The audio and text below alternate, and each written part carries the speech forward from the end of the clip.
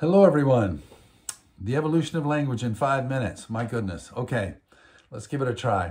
The first two things I want to emphasize are that uh, language did not just pop into existence in an instant. It has a history, and there are probably several steps we have to consider.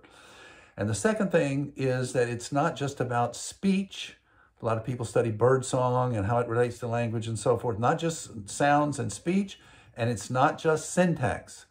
But what I focused on is the evolution of language beginning with communication and with the functional aspects of pragmatics and meaning and that kind of thing. The first steps, I think, had to have taken place in gestures.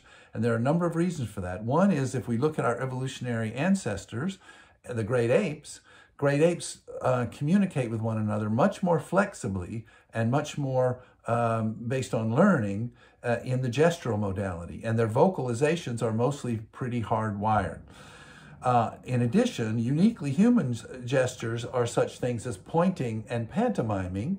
And those uh, we can use cross linguistically. We can use them with people that don't share our language at all and still communicate quite effectively.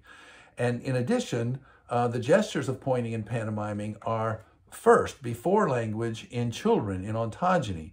So gestures seem to be primary both in our great ape relatives evolutionarily and ontogenetically, and we can use them in across different languages and cultures and still communicate effectively. So they're somehow basic, more basic than conventional languages. Uh, we also need to get more generally a cooperative way of life in human evolution. So using gestures like pointing and pantomiming require us to share certain what's called common ground.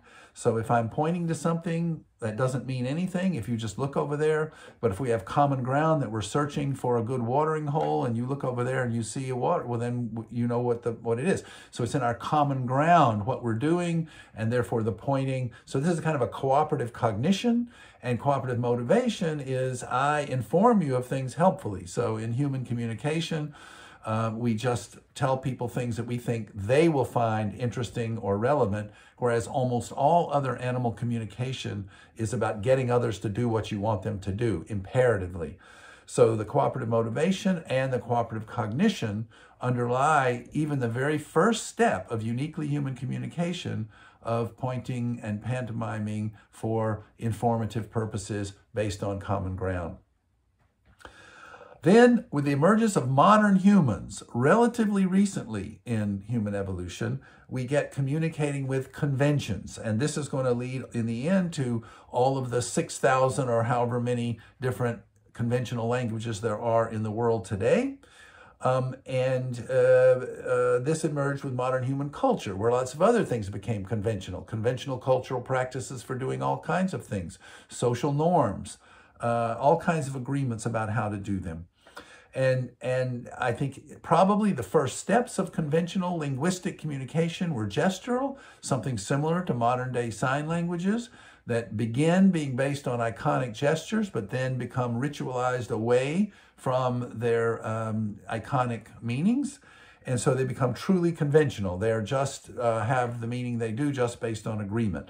At that same time, they probably switched over to the vocal modality at some point, uh, based on the fact that vocalizations uh, travel farther in a forest or whatever, allow you to have your hands free, whatever that is. We switch over to conventional forms of communication and eventually to the vocal modality. The grammar of languages emerges, in my view, through use. So I have a usage-based view of grammar, that grammar emerges from patterns of use of meaningful linguistic conventions. Uh, we know how grammaticalization works because there are lots of studies of the historical processes of grammaticalization uh, today. Of course, there are universals in language because they're universals not because there's an innate universal grammar, but because uh, humans' cognition and human needs for human communication are universal across all people. So we have the same tools of cognition, we have the same needs to communicate. And and and we have limitations of information processing that lead to the kind of ellipsis and things that lead to grammaticalized constructions. And so what we get is the emergence of morphological marking and syntactic constructions through the grammaticalization process, and this has led to 6,000 different languages in the world today. So, to summarize, I would say the evolution of language, to human language, took place in three major steps. The first is gestures in a cooperative social environment. The second is the conventionalization of the process and the emergence of the vocal modality. And the third is grammaticalization into the morphological and syntactic constructions that we see in all of the 6,000 different languages in the world today. Thank you very much.